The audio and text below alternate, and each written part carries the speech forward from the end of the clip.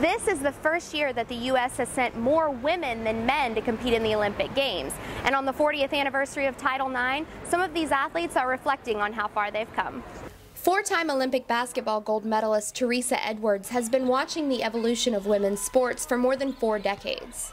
I was a girl that was being pointed at and laughed at because my training grounds were outdoor basketball with guys. And because of advancements like Title IX, many young female athletes say they never felt like they were being held back. When we do step out there, we do push that boundary and show them that, you know, we can do this, we are a competitor. Ultimately, that's what it's about. But whether it be a sport like basketball or a little less glamorous like track, these athletes say it's not fair to compare women's and men's sports based on the size of the audience. We're not successful because we don't get as many fans, but when once we do, we're not treated the same anyway. So let women be the best at what women do and let our fans be our fans, and I think the world will be a better place. And for further progress, they said it's important to encourage the younger generation. I felt good about myself, and I think that that's, that's something important for girls to both have people to look up to and to feel good about themselves. Don't discourage kids and don't discourage dreams and don't discourage goals in people because whether it's in sport or not, it's still building character in a person. Title IX has had a huge impact on each of these Olympians,